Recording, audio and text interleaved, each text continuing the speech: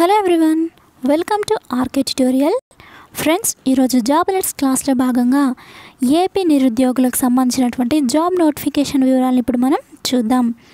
Friends ఈ యొక్క job నోటిఫికేషన్లో సెంట్రల్ బ్యాంక్కి సంబంధించినటువంటి నోటిఫికేషన్ వివరాలు మీకు అందించడం జరుగుతుంది. ఈ యొక్క బ్యాంక్లో అసిస్టెంట్ అండ్ క్లర్క్ పోస్టులు రిలీజ్ చేయడం జరిగింది. ఈ యొక్క పోస్టులకి శాలరీ వచ్చేసి ముప్పై వేల మూడు వందల వరకు ఉంటుంది.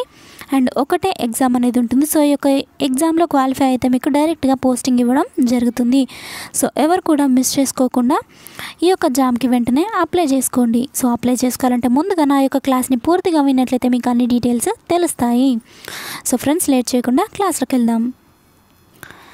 The district cooperative central bank limited so friends ఈ యొక్క జాబ్ నోటిఫికేషన్ అనేది శ్రీకాకుళం జిల్లాలో డిస్ట్రిక్ట్ కోఆపరేటివ్ సెంట్రల్ బ్యాంక్లో రిలీజ్ చేయడం జరిగింది. సో ఎవరైతే ఏపీలో నివసిస్తున్నారో వాళ్ళకి ఇది ఒక మంచి అవకాశంగా చెప్పుకోవచ్చు.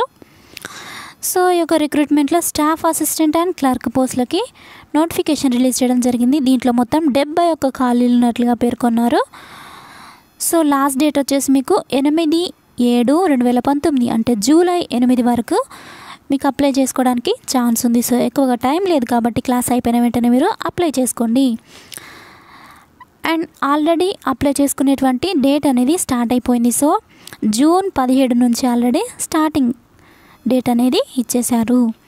అండ్ ఇక్కడ ఇరవై ఐదు శాతము బ్యాక్లాగ్ వేకెన్సీస్ అనేది ఇవ్వడం జరిగింది. సో ఎవరైతే బ్యాక్వర్డ్స్ క్లాసెస్ సంబంధించినటువంటి కేటగిరీస్ వాళ్ళు ఉంటారో వాళ్ళకి కూడా ఈ యొక్క పోస్ట్ నోటిఫికేషన్ వివరాలు అనేది చాలా యూజ్ఫుల్ అవుతాయి. సో ఎవరు కూడా మిస్ చేయకుండా తప్పకుండా అప్లై చేసుకోండి.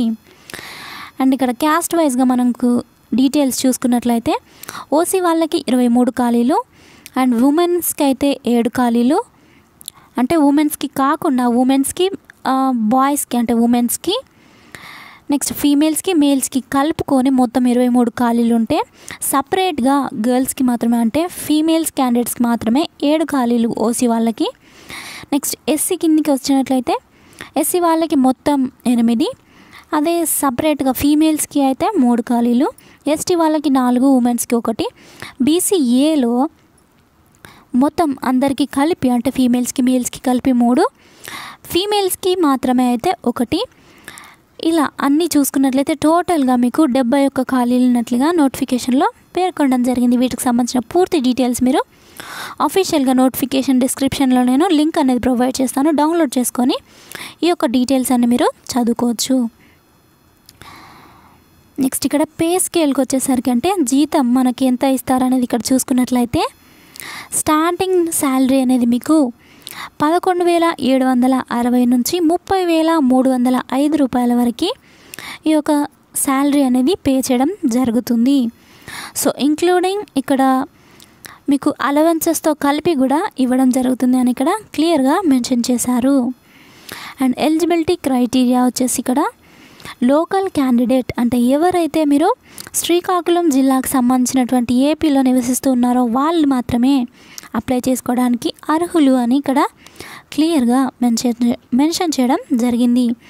అంటే మీరు ఒకవేళ ఏపీకి సంబంధించినటువంటి క్యాండిడేట్స్ అయితే కనుక ఒకవేళ శ్రీకాకుళం జిల్లాలో మీరు ఫోర్ ఇయర్స్ కనుక చదివినట్లు మీ దగ్గర స్టడీ సర్టిఫికేట్ కానీ ఏదైనా ఉన్నట్లయితే ఈ యొక్క జాబ్కి మీరు అప్లై చేసుకోవచ్చు. ఎందుకు అంటే ఇక్కడ లోకల్ క్యాండిడేట్స్కి అంటే ఇక్కడ ప్రిఫరెన్స్ ఇవ్వడం అనేది మెన్షన్ చేశారు కానీ కంపల్సరీగా వాళ్ళకి మాత్రమే వాళ్ళు మాత్రం అంటే ఎవరైతే శ్రీకాకుళం జిల్లాలో మాత్రమే నివసిస్తున్నారో వాళ్ళు మాత్రమే అప్లై చేసుకోవాలని ఇక్కడ క్లియర్గా మెన్షన్ చేయలేదు. కానీ ఎవరైతే శ్రీకాకుళం జిల్లాలో నివసిస్తున్నారో వాళ్ళకి ప్రిఫరెన్స్ ఇవ్వడం జరుగుతుంది అని మెన్షన్ చేశారు కానీ కంపల్సరీ అని మాత్రం ఇవ్వలేదు. సో గమనించండి.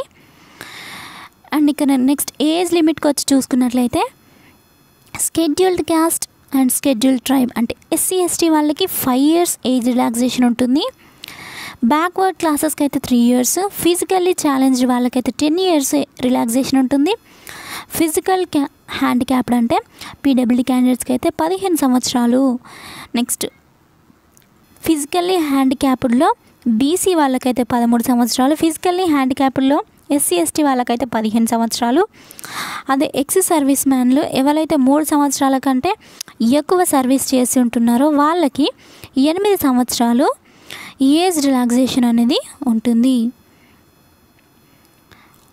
నెక్స్ట్ చూసుకున్నట్లయితే మనకి guidelines for person with disability disabilities using a scribe. So ఎవరైతే పీడబ్ల్యూడీ క్యాండిడేట్స్ ఉంటారో వాళ్ళకి ఇక్కడ కొన్ని సపరేట్గా రూల్స్ అనేది మెన్షన్ చేయడం జరిగింది. సో ఒకవేళ పీడబ్ల్యూడీ క్యాండిడేట్స్ కనుక అప్లై చేసుకోవాలి అనుకుంటే మీరు ముందుగా ఒక నోటిఫికేషన్ ఒకసారి క్లియర్గా చదివిన తర్వాత అప్లై చేసుకోండి.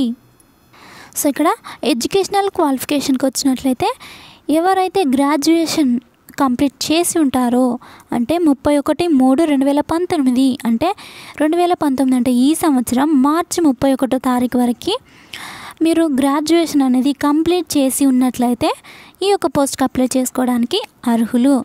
అండ్ అలాగే ఇక్కడ knowledge of English and proficiency in local language అంటే శ్రీకాకుళం జిల్లాలో లోకల్ లాంగ్వేజ్ ఏదైతే ఉంటుందో అంటే శ్రీకాకుళం జిల్లాలో లోకల్ లాంగ్వేజ్ తెలుగు కాబట్టి సో ఆబ్వియస్గా తెలుగు అండ్ ఇంగ్లీష్ అనేది ప్రొఫిషియన్సీ అంటే నాన్ స్టాప్గా మీకు తెలుగు లాంగ్వేజ్ ఇంగ్లీష్ లాంగ్వేజ్ వచ్చి ఉన్నట్లయితే ఈ యొక్క పోస్ట్కి అప్లై చేసుకోవడానికి అర్హులు.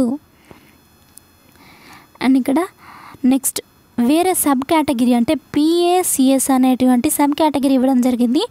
ఈ యొక్క పిఏసిఎస్ అంటే intermediate plus JDC for any graduation from a recognised university అంటే ఇంటర్తో పాటు ఎనీ గ్రాడ్యుయేషన్ చేసి ఉన్న వాళ్ళకి పిఏసిఎస్ అనేది సపరేట్గా ఇక్కడ మెన్షన్ చేయడం జరిగింది కొన్ని పోస్టులు సో ఎవరైతే ఆల్రెడీ సర్వీస్లో ఉన్నారో ఆ సర్వీస్లో ఉన్నవారు ఇంటర్మీడియట్తో పాటు జేడీసీ కనుక మీకు ఉన్నట్లయితే ఈ యొక్క గ్రాడ్యుయేషన్ లేకున్నా కూడా మీరు ఈ యొక్క పోస్టులకి అప్లై చేసుకోవచ్చు అని దీని యొక్క మీనింగ్ సో వీళ్ళకి మ్యాక్సిమం ఏజ్ లిమిట్ వచ్చేసి యాభై మూడు సంవత్సరాలు ఉండాలని ఇక్కడ పేర్కొనడం జరిగింది.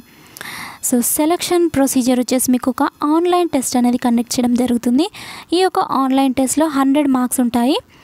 సో ఆ ఆన్లైన్ టెస్ట్లో క్వాలిఫై అయిన వాళ్ళకి ఇంటర్వ్యూ అనేది కండక్ట్ చేయడం జ- సో ఈ యొక్క ఇంటర్వ్యూ కండక్ట్ చేసిన తర్వాత మీరు సెలెక్ట్ అయినట్లయితే మీకు డైరెక్ట్గా జాబ్ పోస్టింగ్ ఇవ్వడం జరుగుతుంది. సో ఇంటర్వ్యూలో హన్ ట్వంటీ ఫైవ్ మార్క్స్ ఆన్లైన్ టెస్ట్లో హండ్రెడ్ మార్క్స్ మొత్తంగా మీకు నూట ఇరవై ఐదు మార్కులకు స్కోరింగ్ అనేది ఉంటుంది. సో ఇక ఆన్లైన్ టెస్టింగ్ ఆన్లైన్ టెస్ట్లో మీకు సబ్జెక్ట్స్ అనేవి ఇంగ్లీష్ రీజనింగ్ అండ్ న్యూమరికల్ అబిలిటీకి సంబంధించినటువంటి క్వశ్చన్స్ అనేది ఇవ్వడం జరుగుతుంది. నెక్స్ట్ ఇక్కడ మనకి ఎగ్జామ్లో నెగిటివ్ మార్కింగ్ ఉంటుందని క్లియర్గా మెన్షన్ చేశారు. ప్రతి నాలుగు రాంగ్ ఆన్సర్లకి ఒక మార్క్ అనేది మీకు మైనస్ చేయడం జరుగుతుంది. అండ్ ఎగ్జామ్ లాంగ్వేజ్ వచ్చేసి ఇంగ్లీష్లో ఉంటుందని ఇక్కడ క్లియర్గా మెన్షన్ చేశారు. వన్ అవర్ అనేది ఎగ్జామ్ టైం ఉంటుంది. అండ్ ఇక్కడ ఆన్లైన్ టెస్ట్ కండక్ట్ చేసేటువంటి మంత్ అనేది ఇవ్వడం జరిగింది. ఆగస్ట్లో అంటే మీకు ఆగస్ట్లో రెండు వేల పంతొమ్మిది అంటే ఈ సంవత్సరం ఆగస్ట్లో మీకు ఆన్లైన్ టెస్ట్ కండక్ట్ చేయడం జరుగుతుంది.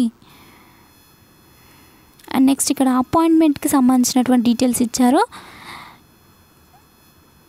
సో మీరు అప్లై చేసే ముందు వీటికి సంబంధించినటువంటి డీటెయిల్స్ కొన్ని చదివిన తర్వాత అప్లై చేసుకోండి. అండ్ ఇక్కడ హౌ టు అప్లై అని కూడా మెన్షన్ చేయడం జరిగింది. Applicants has to log in to the following link for registration of application and fee payment. So ఇక్కడ మీకు అప్లికేషన్ లింక్ అనేది కూడా ప్రొవైడ్ చేయడం జరిగింది. IBPS online dot IBPS dot in DCCB SRKAPR nineteen so ఈ యొక్క లింక్ నుండి మీరు అప్లై చేసుకోవచ్చు. అండ్ డీటెయిల్ గైడ్ లైన్సెస్ అనేది ఇక్కడ మెన్షన్ చేశారు. ముందుగా అప్లికేషన్ చేయాలి అప్లై చేసుకోవాలంటే మీరు ముందుగా రిజిస్ట్రేషన్ చేసుకోవాల్సి ఉంటుంది. మీ యొక్క మొబైల్ నెంబర్తో కానీ ఈమెయిల్ ఐడితో కానీ మీరు రిజిస్ట్రేషన్ చేసుకున్న తర్వాత పేమెంట్ చేసిన తర్వాత ఫోటోగ్రాఫ్ అండ్ సిగ్నేచర్ అండ్ మిగతా స్కానింగ్ డాక్యుమెంట్స్ అన్ని అప్లోడ్ చేసి మీరు అప్లై చేసుకోవాల్సి ఉంటుంది. సో ఇక్కడ ఫీ పేమెంట్కి వచ్చి చూసుకున్నట్లయితే SC ST PC ex service మెన్లకైతే direct రిక్రూట్మెంట్లో చేసుకునే వాళ్ళకైతే మూడు వందల యాభై రూపాయలు కట్టాల్సి ఉంటుంది. అదే ఆల్రెడీ సర్వీస్లో ఉండి అప్లై చేసుకునే వాళ్ళైతే రెండు వందల యాభై రూపాయలు కట్టాల్సి ఉంటుంది. నెక్స్ట్ ఓబీసీ క్యాండిడేట్స్కి అయితే ఆరు వందల రూపాయలు డైరెక్ట్ రిక్రూట్మెంట్ వాళ్ళకైతే ఆరు వందల రూపాయలు కట్టాలి. సర్వీస్లో ఉండి అప్లై చేసుకుంటున్న వాళ్ళైతే ఐదు వందల రూపాయలు కట్టాల్సి ఉంటుంది. అండ్ మీరు అప్లై చేసుకునేటప్పుడు స్టార్ మార్క్తో ఉన్నటువంటి అప్లికేషన్స్లో డీటెయిల్స్ అనేది కంపల్సరీగా ఫిల్ చేయాలని ఇక్కడ క్లియర్గా మెన్షన్ చేయడం జరిగింది. అండ్ అప్లికేషన్ వచ్చేసి మీకు ఆన్లైన్ మోడ్లో ఉంటుంది ఆఫ్లైన్లో కాదు. సో నోట్ చేసుకోండి.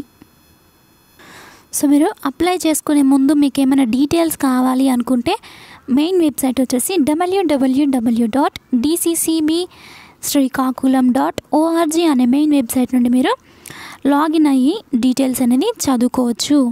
అండ్ లాస్ట్ డేట్ వచ్చేసి మీకు ఆల్రెడీ చెప్పాను. జూలై ఎనిమిదో తేదీ వరకు మీకు చివరి తేదీ ఆన్లైన్లో అప్లై చేసుకోవడానికి చివరి తేదీ. అండ్ ఇది మళ్ళీ నేను ఒక పాయింట్ అనేది మెన్షన్ చేస్తున్నాను. ఇది ఓన్లీ ఏపీలోని క్యాండిడేట్స్కి మాత్రమే. సో మిగతా స్టేట్స్ వాళ్ళకి అప్లై చేసుకోవడానికి వీలు లేదు. సో నోట్ చేసుకోండి. సో ఫ్రెండ్స్ ఇది ఈరోజు జాబ్ యాడ్స్ క్లాస్లో భాగంగా ఏపీ వాళ్ళకి సంబంధించినటువంటి జాబ్ నోటిఫికేషన్ వివరాలు మీకు ఇప్పుడు అందించడం జరిగింది. ఫ్రెండ్స్ నా యొక్క క్లాస్ మీకు యూజ్ అయినట్లయితే మీ ఫ్రెండ్స్కి తప్పకుండా షేర్ చేయండి. నా క్లాస్ కనుక మీకు నచ్చినట్లయితే తప్పకుండా లైక్ చేయండి కామెంట్స్ రూపంలో తెలియజేయండి. ఫ్రెండ్స్ వీటికి సంబంధించిన పీడిఎఫ్ లింక్ నేను మీకు డిస్క్రిప్షన్లో ప్రొవైడ్ చేస్తాను. డౌన్లోడ్ చేసుకొని చదివిన తర్వాత అప్లై చేసుకోండి. ఫ్రెండ్స్ ఇంతవరకు ఎవరైనా నా ఛానల్ని సబ్స్క్రైబ్ చేసుకోకుండా చూస్తూ ఉన్నట్లయితే ఇలాంటి మరిన్ని జాబ్ రైట్స్ కోసం నా ఛానల్ని తప్పకుండా సబ్స్క్రైబ్ చేసుకోండి. అంతే మాత్రం కాదు డైలీ మీకు అప్డేట్స్ అనేది కమ్యూనిటీలో కూడా పోస్ట్ చేయడం జరుగుతుంది. అండ్ ఇందులో జాబ్ రైట్స్ మాత్రమే కాకుండా current affairs ఆర్ఆర్బీకి general knowledge bits general studies and competitive ఎగ్జామ్స్కి ప్రిపేర్ అయ్యే ప్రతి ఒక్కరి కోసం మ్యాథమెటిక్స్ కంప్లీట్ ఎక్స్ప్లెనేషన్స్ కూడా మీకు క్లాసెస్ అందించడం జరిగింది. సో అన్నీ కూడా ప్లేలిస్ట్ ప్రొవైడ్ చేశాను. తప్పకుండా అన్నీ మీరు చూడండి. Thank you friends thank you for your time have nice day bye